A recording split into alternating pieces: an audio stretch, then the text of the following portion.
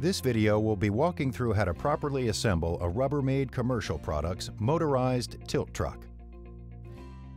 This tilt truck is designed to reduce the effort required to move heavy loads up to 1,000 pounds and assists with initial push force, helping move heavy loads easier.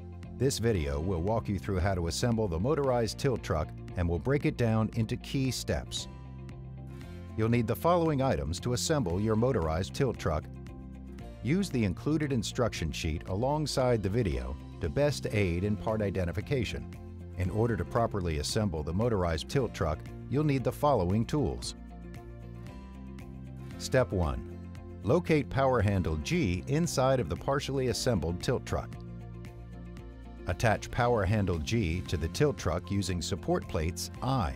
Secure the support plates to the inside of the tilt truck and the power handle to the outside of the tilt truck with four A screws and four D nuts using an adjustable wrench. Step 2. Flip the tilt truck upside down. Step 3. Remove the connections from the battery compartment. Step 4. Locate and connect the right and left wheel cables to the matching connectors located in the battery compartment. Each will be labeled with an L or an R. Then connect the throttle body cables to the matching connectors in the battery compartment. Step 5. Once all the cables are connected, store the connectors into the battery compartment. Step 6. Place wire cover F over the battery compartment to secure the wires in place using three E screws and a T20 screwdriver. Step 7. Route the brake cables from the power handle to the power wheels. Step 8. Remove the top knot, support hardware, and spring from the brake cable. Route the cable through the power wheel bracket.